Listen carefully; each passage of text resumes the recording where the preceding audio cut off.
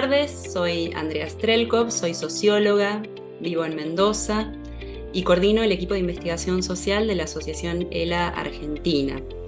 En agosto de 2022, la asociación presentó un proyecto de investigación a raíz de una convocatoria que fue en conjunto por el Ministerio de Ciencia, Tecnología e Innovación de la Nación y la Fundación Bullrich para eh, realizar eh, proyectos de investigación social respecto de la ELA.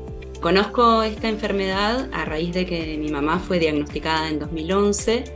Ella eh, convive con esta enfermedad desde hace tiempo y hace cuatro años que tiene internación domiciliaria.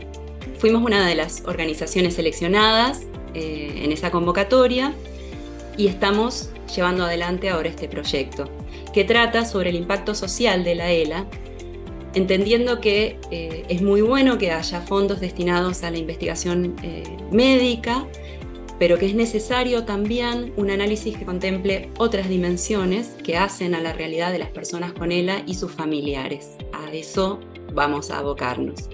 El objetivo de esta investigación es bueno, avanzar en una caracterización diagnóstica de la población que padece ELA, refiriéndonos a las personas que están diagnosticadas y el entorno afectivo que también padece la enfermedad. Lo entendemos de esta manera. En Argentina, la idea es desprender sugerencias para el abordaje de estas problemáticas.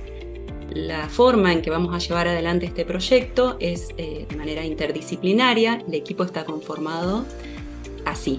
Soy la licenciada Paula Dabá y coordino el área de salud mental de la Asociación de la Argentina.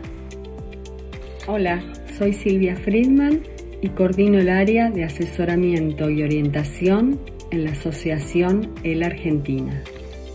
Hola, mi nombre es Diandra Doreto, soy trabajadora social de la Asociación El Argentina. Hola, mi nombre es Sofía Vallejos, soy trabajadora social de la Asociación El Argentina.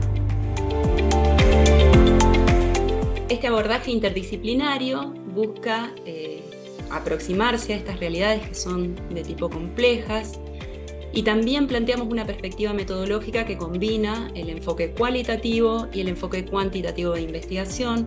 Es por eso que estamos comenzando una etapa de entrevistas en profundidad y próximamente realizaremos una encuesta destinada a toda la población que está registrada en la base de datos de la Asociación El Argentina. Esperamos entonces poder contar con vuestra colaboración para poder conocer más acerca de la ELA y de su impacto social y que este conocimiento pueda ser insumo para una mejor calidad de vida.